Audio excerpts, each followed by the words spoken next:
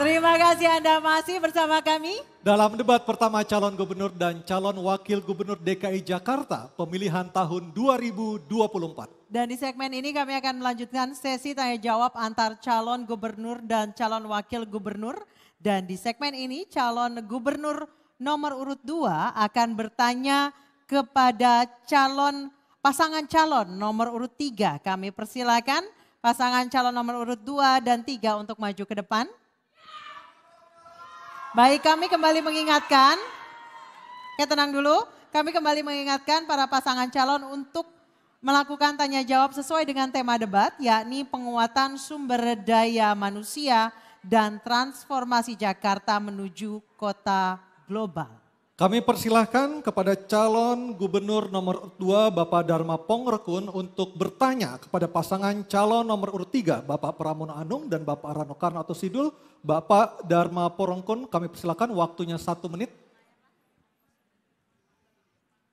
Pak Pramono Anung, Mas Pram, senior saya, izin bertanya mengenai kebijakan yang Mas Pram sudah sampaikan untuk menempatkan CCTV di setiap uh, RT RW supaya uh, untuk mengantisipasi uh, kejahatan.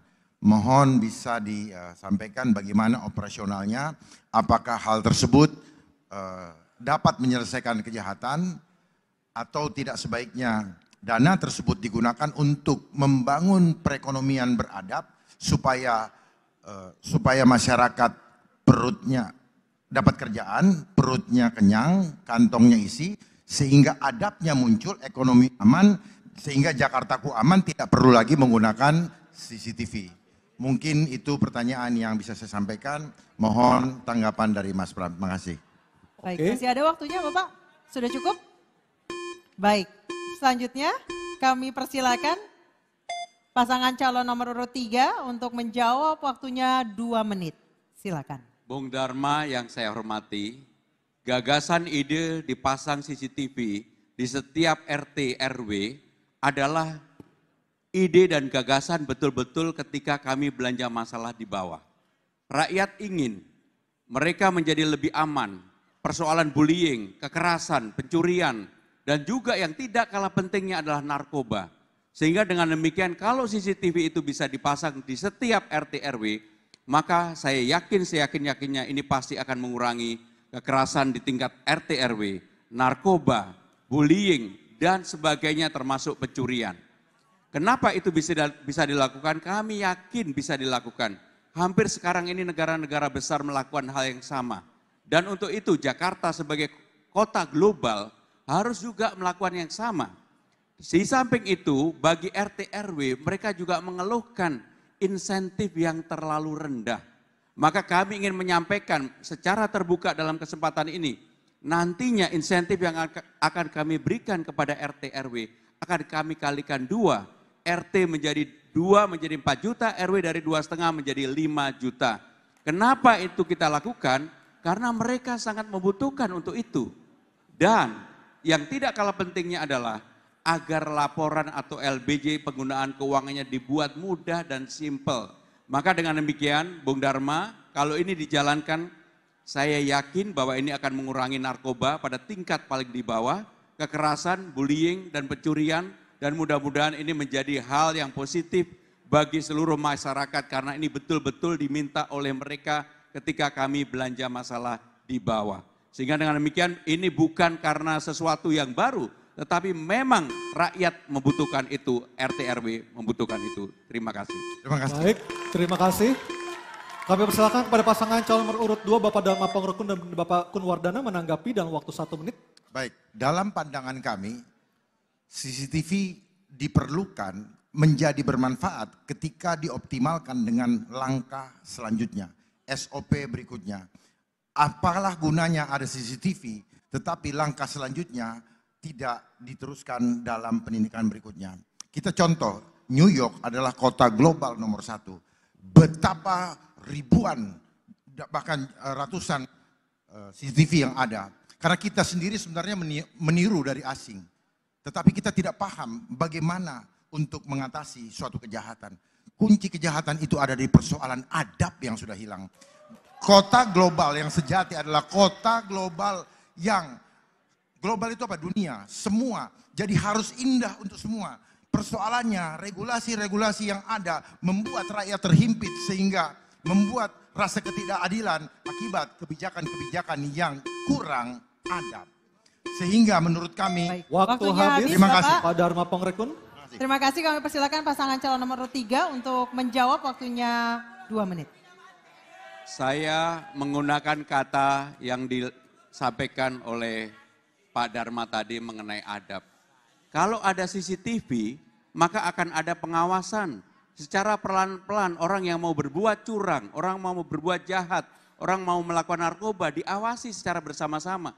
Mungkin bagi sebagian orang tidak mau dan tidak suka.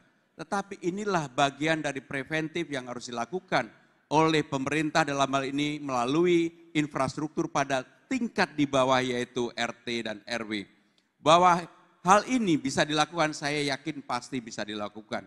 Dan untuk itu maka tidak boleh kemudian hanya karena persoalan teknis kita tidak teruskan. Saya Pak Bung Dharma kalau ini diberikan kesempatan pasti saya lanjutkan. Outputnya bagaimana harus bekerja sama dengan aparat penegak hukum kalau ada pencurian. Harus bekerja sama dengan aparat penegak hukum kalau ada narkoba. Dan itu membuat swasensor di masyarakat akan menjadi semakin baik. Dan inilah yang diharapkan dengan dipasang CCTV pada RT dan RW. Dan untuk itu, kenapa ini menjadi program kami? Kami serius untuk menangani ini karena ketika kami belanja masalah di bawah, hampir semua orang mengeluh tentang bullying, kekerasan, narkoba, pencurian. Bahkan kalau ini dilakukan maka apa yang terjadi? Orang mau selingkuh pun akan ketahuan. Maka dengan demikian inilah yang akan kami lakukan dan itu yang kemudian saya yakin hal adab yang tadi selalu Pak Dharma sampaikan mudah-mudahan orang yang mau melakukan mereka tidak melakukan. Terima kasih, terima kasih matur nuwun, matur nuwun. Masih ada sisa waktu, cukup? Cukup, cukup. Baik, Baik, baik kita berikan aplaus dulu untuk kedua pasangan calon gubernur dan pasangan calon wakil gubernur. Dan kami persilakan kepada pasangan calon nomor urut 2 untuk kembali ke tempat. silakan. Dan tanya jawab akan kami lanjutkan. Kami akan mengundang pasangan calon nomor urut 1 untuk maju ke depan. Dan kali ini pasangan calon nomor urut 3 dan pasangan calon nomor urut 1 akan saling tanya jawab dan menanggapi. Kami persilahkan untuk calon gubernur nomor urut 3. Bapak Pramono Anung bertanya kepada pasangan calon nomor urut 2, Bapak Ridwan Kamil dan Bapak Suswono. Waktu Anda satu menit, silakan. Kang Emil, Pak Suswono yang saya hormati, pertanyaan saya sederhana seperti ketika Kang Emil tanya saya tadi. Pengalaman Kang Emil sebagai gubernur dan juga sebagai wali kota di Bandung, dan saya yakin bisa hal yang sama juga diterapkan di Jakarta kalau terpilih. Untuk itu pertanyaan saya sederhana, bagaimana Kang Emil dalam konteks untuk SDM transformasi menjadi kota global kepada kelompok disabilitas? Karena perbedaan Jakarta dan Bandung relatif hampir sama. Bagaimana cara menangani dan kenapa itu dilakukan? Untuk itu kami mohon jawaban. Terima kasih. Baik, waktunya masih ada Bapak? Terima Sudah kasih. cukup? Baik, kami persilakan pasangan calon nomor urut 1 untuk menjawab waktunya dua menit. Ya, dalam visi misi pasangan Ridho, kita ini membawa Jakarta baru karena ditinggal Nusantara sebagai ibu kota. Menuju Jakarta maju, naik kelas jadi kota global. Melalui prinsip apa? Melalui inovasi. Inovasi itu menghadirkan yang dulunya tidak ada menjadi ada. Dengan dua nilai, berkeadilan dan sejahtera. Pertanyaan Mas Pram ini adalah konteks tentang berkeadilan yang namanya berkeadilan, semua di republik ini selama dia adalah anak bangsa kita harus mendapatkan hak yang sama dalam pendidikan, dalam kesehatan, dalam pekerjaan, dalam mobilitas di kota. Sebagai yang aktif di perkotaan, saya mengamati mayoritas kota di Indonesia itu ramahnya hanya untuk kita, lelaki dewasa. Disabilitas dan lain-lain kadang-kadang susah. Waktu pengalaman saya, saya reformasi semua perempatan-perempatan jalan, trotoar-trotoar dihadirkan dengan jalur disabilitas misalkan ya. Saya pernah tegur satu wali kota karena jalur tunanetranya di warna merah, mohon maaf. Saya bilang ini bukan masalah warna, ini kuning itu adalah low vision yang paling bisa dilihat. Ya. Hal-hal begitu terus kita tingkatkan. Waktu saya gubernur, saya pernah mengeluarkan kebijakan namanya Equal Opportunity Employer. Jadi artinya semua kantor di Jakarta insya Allah wajib menandatangani kontrak bahwa mereka adalah pe, apa, pe, perusahaan yang akan mempekerjakan siapa pun tanpa memandang apakah dia disabilitas atau tidak selama disabilitas itu bisa. Contoh tunanetra, dia bisa kita pekerjakan di data center, ya di call center. Kan tidak perlu visual, cukup suara. Jadi berkeadilan dalam pendidikan kesehatan pekerjaan, insya Allah hadir lima tahun lebih cepat di Jakarta. Baik, silakan ditanggapi Bapak Pramono Anung dan Bapak Rano Karno atau Sidul. Waktunya satu menit, silakan. Dalam kesempatan ini hadir sahabat saya yang namanya Farhan Helmi dari Bandung dan juga Mbak Atun adik dari Bang Dul. Saya, kenapa saya menanyakan ini? Karena persoalan disabilitas di Jakarta maupun di Bandung kurang lebih sama. Tidak ada keberpihakan secara sungguh-sungguh dari pemerintah untuk menangani mereka. Bukan saya menyampaikan sesuatu yang mengarang. Teman saya Farhan Helmi sebagai ketua Dilad Disabilitas dan Lansia yang ada di Bandung selama ini untuk menyewa ruangan dan kantornya saja kesulitan bahkan untuk aktivitas sehari-hari juga mengalami kesulitan. Saya yang ada di Jakarta pada waktu itu karena dia sahabat saya, ini sudah bertahun-tahun yang lalu. Maka kamilah yang kemudian nanti bisa ditanyakan kepada sahabat saya yang namanya Farkan, kamilah yang kemudian memenuhi hal itu. Jadi praktek di lapangan sering kali berbeda dengan apa yang di luar lapangan. Terima kasih. Baik, terima kasih. Kami persilakan pasangan calon nomor urut 1 untuk memberikan tanggapan dari pernyataan pasangan calon nomor urut 3 waktunya satu menit silakan. Ya, ibu saya mengatakan kalau dianggap salah saya mau minta maaf Mbak Farhan. Kalau dirasa masih belum cukup, saya tidak akan excuse. Cuman kalau mau adil Mas Pram, perubahan sebelum saya menjabat pemimpin dengan setelah saya menjabat pemimpin, perubahannya itu banyak. Mungkin tidak 100 persen ya Mungkin tidak bisa 100% nobody perfect juga kan. Tapi kalau ditanya dengan angka, saya bisa membuktikan betapa perubahan-perubahan untuk golongan disabilitas itu sangat signifikan. Tapi mungkin belum menyentuh 100%.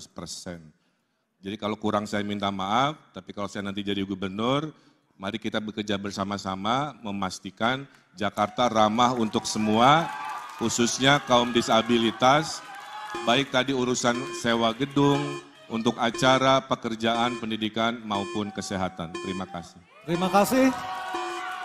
Dan mohon tenang. Kami persilakan kepada pasangan calon nomor urut satu untuk kembali ke tempat. Dan selanjutnya kami akan mengundang pasangan calon nomor urut dua Bapak Dharma Pongrekun dan Bapak Kudwardana untuk maju ke depan.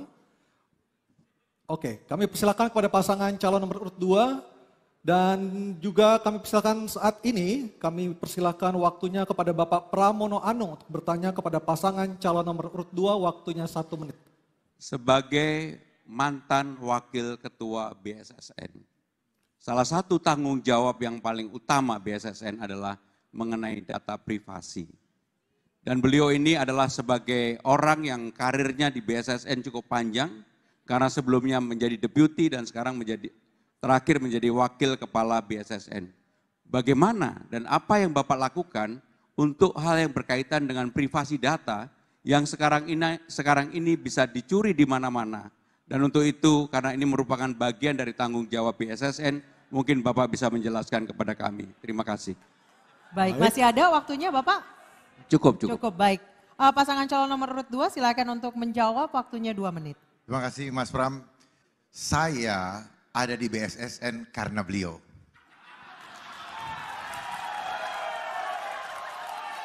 Beliaulah yang menempatkan saya di BSSN. Oleh sebab itu saya emban tugas dari beliau dengan sungguh-sungguh dan saya dapat resepnya. Bagaimana resepnya supaya cyber security di Indonesia bisa dijamin keamanannya. Mudah-mudahan Mas Pram jadi presiden. Saya mohon jadikan Indonesia mandiri internet. Selama internetnya tidak mandiri, maka selama itu bocor semua.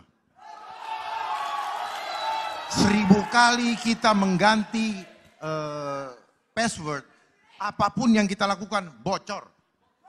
Jadi tidak ada satupun di ruang cyber ini yang aman. Contoh PDN. PDN aja kebocoran di maling, yang maling ngomong baru ketahuan. Padahal detik ini semua data kita udah bocor. Jadi saya paham betul mengenai dunia IoT.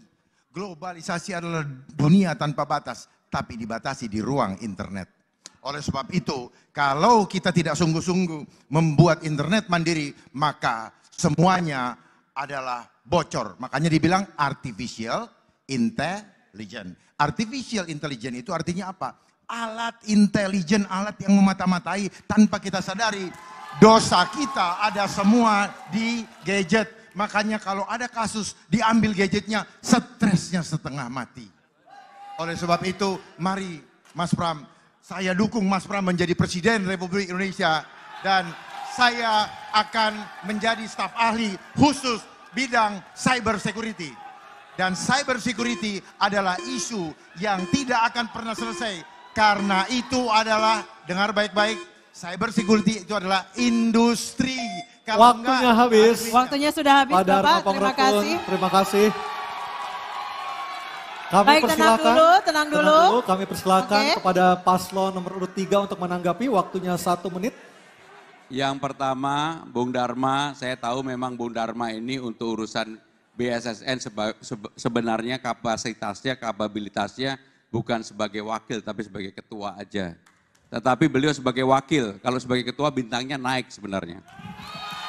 Saudara-saudara sekalian, data sekarang ini adalah betul-betul menjadi sesuatu yang penting. Maka menjadi tugas negara untuk memproteksi data tidak keluar ke mana pun. Maka untuk itu harusnya BSSN bekerja sama dengan Kominfo untuk melakukan proteksi tentang data dan tidak mudah-mudahan tidak mudah untuk dicuri oleh siapa pun. Sehingga dengan demikian Bung Dharma, saya sama sekali tidak membantah apa yang beliau sampaikan, saya mengucapkan terima kasih. Tetapi doa yang terakhir tadi, harapan yang terakhir bagi saya cukup maju Pilkada DKI saja. Terima kasih. Baik. Terima kasih. Terima kasih selanjutnya. Oke, baik. Tenang dulu, tenang dulu. Mohon tenang. Tenang dulu, terima kasih. Selanjutnya kami persilakan pasangan calon nomor urut 2 untuk memberikan tanggapan dari uh, pernyataan pasangan calon nomor urut 3. Waktunya satu menit, silakan. Baik. Sekali lagi terima kasih Mas Pram. Saya bisa bintang 3 karena Mas Pram. Jadi hubungan emosional ini tidak bisa kami lepaskan sampai Tuhan memanggil kami. Betul Mas Pram? Bukan karena bukan karena rivalitas ini menye, menye, apa, menghentikan silaturahmi kami. Tetapi satu hal yang ingin saya sampaikan bahwa kalau kita paham agenda global, maka Kominfo perlu dikoreksi. Harusnya Infokom, bukan Kominfo. Kominfo adalah komunikasikan informasi, tetapi harusnya informasi difilter baru dikomunikasikan. Jadi di sana ada rahasia yang perlu dipahami betul bahwa itu terjadi setelah reformasi 2002 ada Kominfo, ada uh, Kemenpan RB, dan lain-lain. Sehingga saya paham betul agenda-agenda apa yang terjadi di situ. Makanya muncullah ITE dan ternyata banyak persoalan di media sosial. Baik. Terima kasih Baik, terima kasih. Mohon maaf kalau kita ini, berikan aplaus yang paling meriah di segmen ini untuk ketiga pasangan calon. Dan kami persilakan untuk kembali duduk di tempat masing-masing. Kami persilakan ke tempat masing-masing. Kita telah saksikan tadi para pasangan calon gubernur dan calon wakil gubernur saling bertanya dan saling menjawab. Dan hadirin serta pemirsa kita jeda dulu. Dan tentunya kami akan kembali dengan segmen para calon gubernur dan calon wakil gubernur akan menyampaikan pernyataan penutup di debat pertama ini. Tetap bersama kami.